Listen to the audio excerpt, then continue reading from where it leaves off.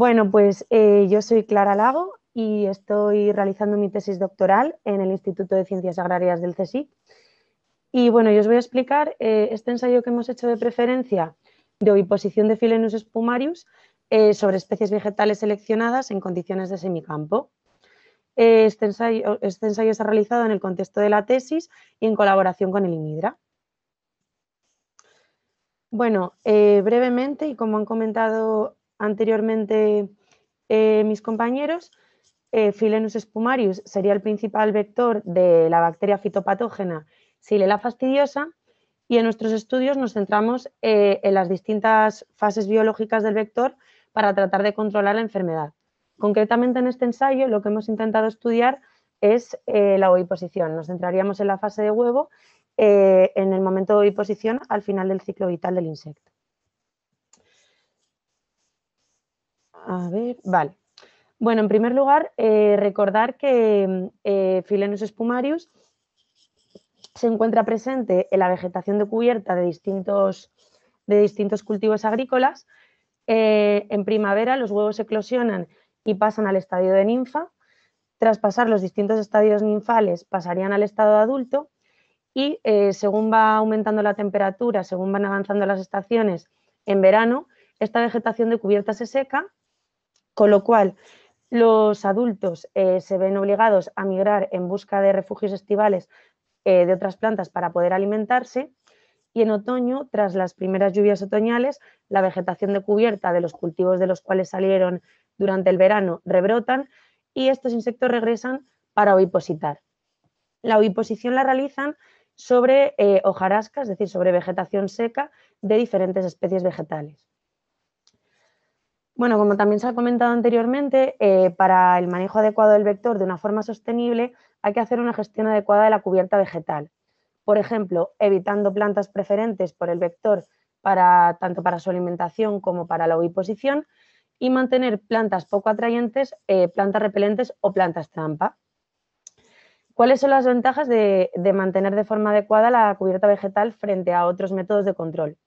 En primer lugar, se minimiza así la utilización de insecticidas y, por tanto, las distintas consecuencias que tienen eh, e impactos sobre tanto la salud de los ecosistemas como sobre la salud humana.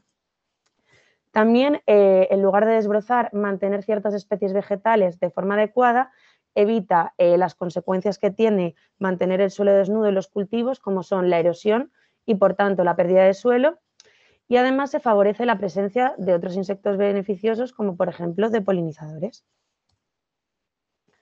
Por tanto, bueno, los objetivos de este trabajo fueron, en, primer lugar, conocer la preferencia de Philenus spumarius de especies de plantas sobre las cuales ovipositar y determinar si Philenus spumarius requiere que haya presencia de planta verde cerca para la oviposición. Eh, la presencia de planta verde generalmente es fundamental para su alimentación. En cuanto a las especies vegetales seleccionadas, bueno, se seleccionaron en función de los resultados que hemos visto en los ensayos anteriores y también de estudios previos sobre la preferencia de estos insectos para la alimentación. Por tanto, hemos seleccionado por una parte dos asteráceas que son Sonchus oleraceus y Taraxacum officinalis. Eh, también hemos seleccionado una gramínea que es Bromus madritensis y una brasicácea eh, como es Diplotaxis tenifolia. ¿Cómo hemos realizado el ensayo? Bien, en primer lugar hemos colocado jaulas de un metro por un metro en un invernadero eh, y lo hemos mantenido en condiciones de semicampo, en condiciones seminaturales. Dentro de esta jaula colocábamos una capa de tierra y en cada una de las esquinas de dicha jaula colocábamos cuatro ejemplares de las distintas especies de estudio. Eh, distintas especies de bromus, eh, de diplotaxis, de taraxacum y de sonchus. Debajo de cada una de estas plantas verdes colocábamos placas con hojarasca correspondiente a las distintas especies vegetales, es decir, bajo planta de bromus colocábamos hojarasca de bromus, bajo eh, planta verde de sonchus colocábamos hojarasca de sonchus. Y luego, adicionalmente, en el centro de la jaula, alejado de planta verde, colocamos placas con hojarasca perteneciente a las distintas especies vegetales. De esta forma podemos ver si necesitan el estímulo de la presencia de planta verde para ovipositar. De este tipo de jaulas eh, hemos colocado eh, cuatro jaulas, las que llamamos jaula tratamiento, y adicionalmente hemos colocado una jaula control. La jaula control se han puesto las condiciones que eh, sabemos que son óptimas para la oviposición en base a nuestra experiencia con la cría que tenemos mantenida en el laboratorio. ¿Cuáles son las condiciones óptimas conocidas para la oviposición? Presencia de planta de sonchus y como hojarasca hemos utilizado acículas de pino. En el interior de cada una de estas jaulas hemos eh, introducido 9 hembras y 18 machos de Filenus espumarius, manteniendo así eh, un ratio 1-2 para garantizar la cópula y por tanto la posterior oviposición. Bien, este ensayo se ha realizado desde el día 13 de octubre hasta el 15 de diciembre de 2020, coincidiendo con el periodo de oviposición de estas latitudes. Eh, de forma semanal revisábamos el número de puestas que encontrábamos bajo cada placa. Esto que veis aquí, eh, la primera foto sería el ejemplo de lo que es una puesta y la, eh, fotografía que veis abajo serían los huevos. Y bueno, revisando semanalmente los números de puestas, también anotábamos si estas puestas se encontraban en hojarasca presente debajo de planta verde o alejadas de la planta verde y sobre qué especie de hojarasca se encontraban dichas puestas. Bien, en cuanto a los resultados, en total de todo el ensayo, en todas las jaulas eh, estudiadas, encontramos un total de 60 puestas. En cuanto al primer objetivo del trabajo, nuestra pregunta eh, sería si el número de puestas encontradas fue mayor bajo planta verde o sin planta verde.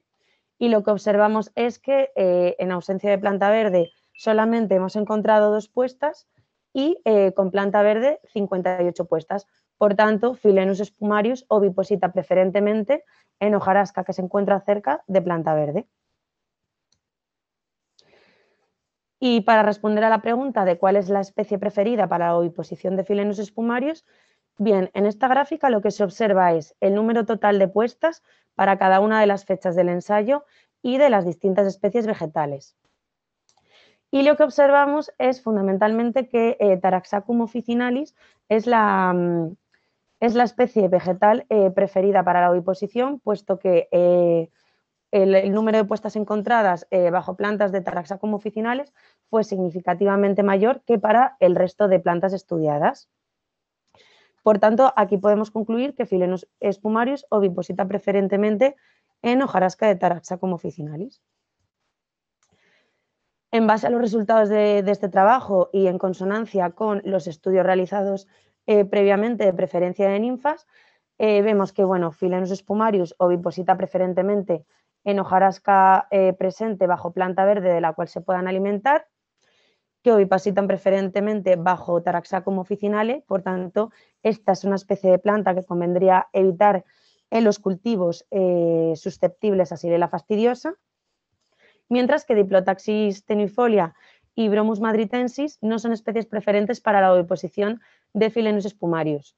Por tanto, Diplotaxis tenuifolia sí que sería una especie buena para colocar en los cultivos susceptibles a, a fastidiosa y aunque en este ensayo se ha visto que Bromus madritensis también podría ser una especie preferente, estudios previos han demostrado que, por ejemplo, esta especie sí que es eh, preferente para la alimentación de otros potenciales vectores o de otros vectores como son Neophilenus campestris. Por tanto, eh, esta especie eh, tendríamos que tener cuidado a la hora de utilizarla en los cultivos susceptibles a Xylella fastidiosa. Por último, agradecer eh, a, todas, a todos mis compañeros y compañeras del Instituto de Ciencias Agrarias del CSIC y también del IMIDRA por la colaboración en la realización de, este ensayo. Me preguntan, ¿y de gramíneas cuál sería la especie a evitar? De gramíneas, a ver, en consonancia con nuestros resultados, eh, lo que se ha observado es que Bromus es una especie sobre la cual no, no vipositan de forma preferente. En total, en todo el ensayo solamente se encontró una puesta abajo eh, planta de Bromus. En cuanto a filenos espumarios, sin embargo, estudios previos eh, han mostrado que Bromus es una planta que sí que eh, de la cual sí que se alimentan otros potenciales vectores como son Neophilenus campestris, con lo cual habría que tener cuidado a la hora de utilizar esta especie, puesto que aunque eh, no sea una especie preferente eh, para Filenus espumarius, sí que lo es para campestris.